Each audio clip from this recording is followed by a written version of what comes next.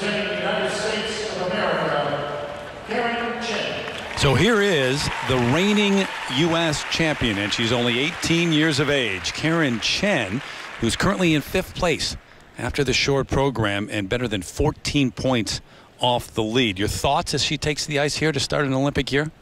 She's already this season changed her long program from Carmen to this new piece. She's choreographed two weeks ago. Risky.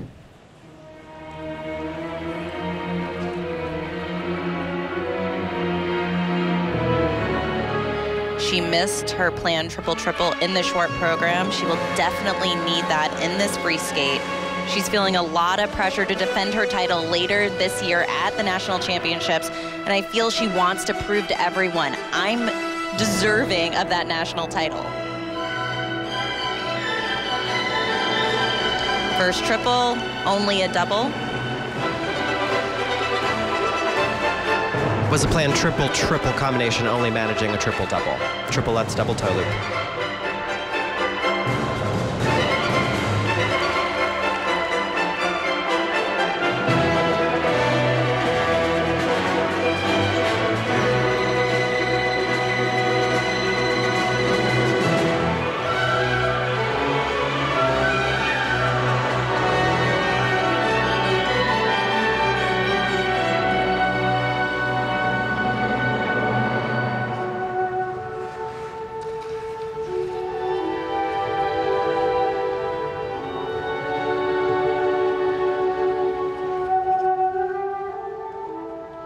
Teenager who is from the same hometown as Kristi Yamaguchi, and Kristi wrote the foreword for a book that Karen wrote and is coming out at the end of November. Also takes charge of her skating. You mentioned the switch in terms of Carmen. She has choreographed this program as well. She also made a switch earlier in the season when it came to her free skate. This is her third program she's finally landed on.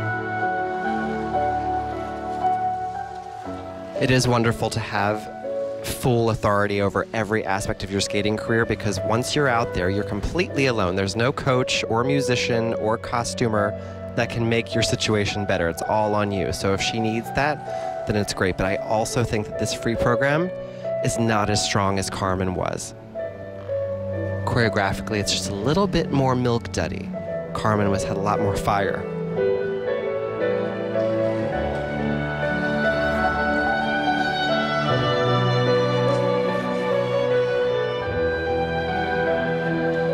Sequence here, double Axel, half loop, triple sal. Okay, I know milk toast, what it refers to. Milk dud? Were you talking in the candy? There's just sort of a soft, sort of muzak aspect of this free program. And while it's nice to listen to, to create an Olympic skating moment, I don't think this piece is going to get her there.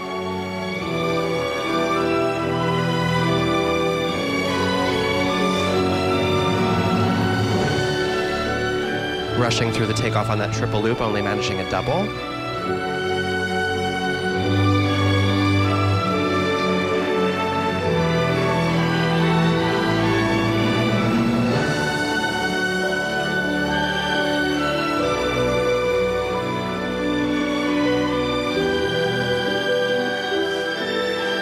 major error on that triple Salchow. That will receive an under rotation. It wasn't even close to three revolutions. She's also in the past had a track record of these under rotations, and those mistakes really add up at the end of the day.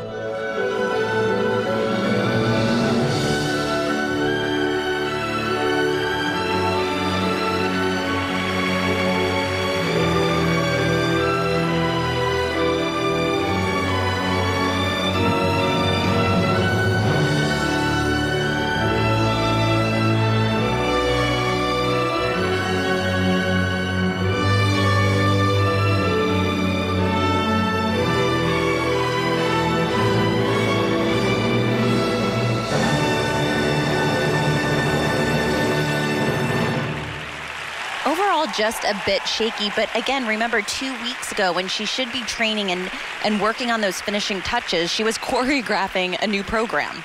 And that could, I think, have been a mistake right before the Grand Prix started. She needed to really cement her position as a favorite, and it just didn't come through today. First Grand Prix of the year, but she's had other competition, and those haven't gone all that well. We'll see the numbers for Karen Chen.